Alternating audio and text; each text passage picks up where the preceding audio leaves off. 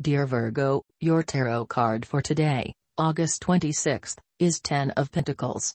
The Ten of Pentacles shows the presence of stability, prosperity, and overall good fortune. This could all be due to having positive, close relationships or a tight-knit family as a foundation. You may have more physical prosperity than you thought. Look around and see the support that's there.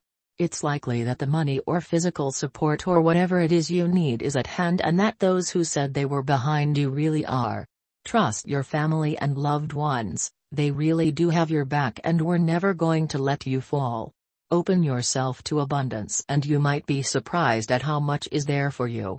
And when you prosper, don't forget to be generous. No one ever does it all on their own, even when we think we do. We all need each other, and it's through sharing that we discover our true wealth.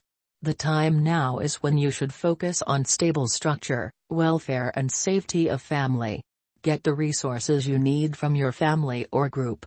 If you are the leader, you should encourage the youth and give them needed facilities for progress. Show more attention to the needs of the elderly. The Ten of Pentacles is a very happy indicator with regard to love.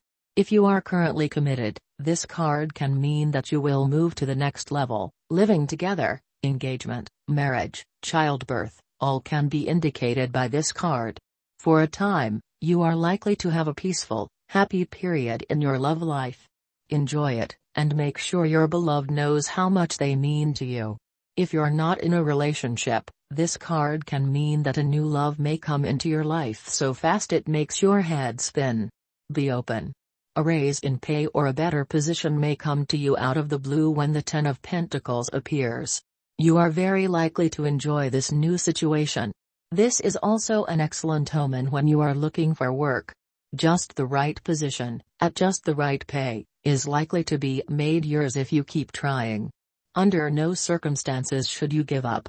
Things are on the upswing, even if you see no concrete signs of this yet. If you resonate with this reading, don't forget to subscribe.